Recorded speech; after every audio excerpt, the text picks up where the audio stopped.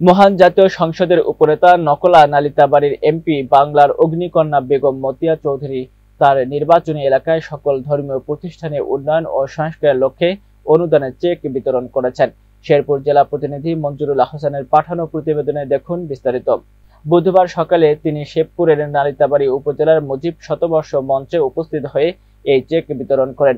এ সময় তিনি এই উপজেলার বারোটি ইউনিয়ন ও একটি পৌরসভার আটশো ধর্মীয় প্রতিষ্ঠান ছিয়াশি লাখ পঁচাশি হাজার টাকার চেক বিতরণ করেছেন।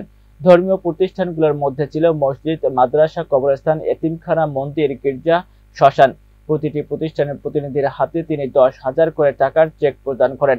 এ সভায় উপস্থিত ছিলেন সিনিয়র সহকারী পুলিশ সুপার দিদারুল ইসলাম, উপজেলা নির্বাহী অফিসার খ্রিস্টোফার হিমেল রিচেল সহকারী কমিশনার ইফাত জাহাদ তুলি উপজেলা আওয়ামী লীগের সভাপতি A H M Mostafa Kamal, সাধারণ সম্পাদক মোহাম্মদ ওয়াজুকুরুনি, কেন্দ্রীয় নেতা গোপাল চন্দ্র সরকার, পৌর মেয়র আবু বক্কর সিদ্দিক, জেলা আওয়ামী লীগ নেতা সরকার গোলাম ফারুক, যুগ্ম সাধারণ সম্পাদক হাজি মোশারফ হোসেন, ফারুক আহমেদ বকুল, সাংগঠনিক সম্পাদক আব্দুল ওয়াহাব জাহাঙ্গীর আলম সহ উপজেলা ও ইউনিয়ন আওয়ামী লীগ ও অঙ্গ সহযোগী সংগঠনের নেতৃবৃন্দ।